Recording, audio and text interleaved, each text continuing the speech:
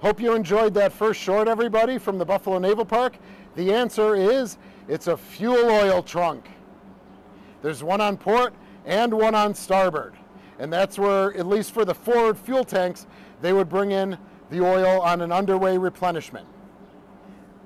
This isn't a, what is it? It's a why is it here?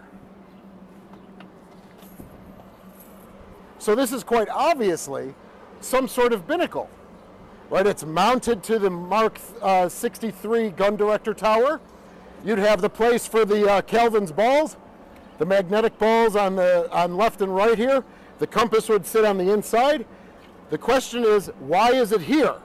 Right? We don't have any proof, in, uh, at least from what I've seen, we don't have any proof of anything being here like this. So why was it placed here? Check out the next video and you'll have the answer.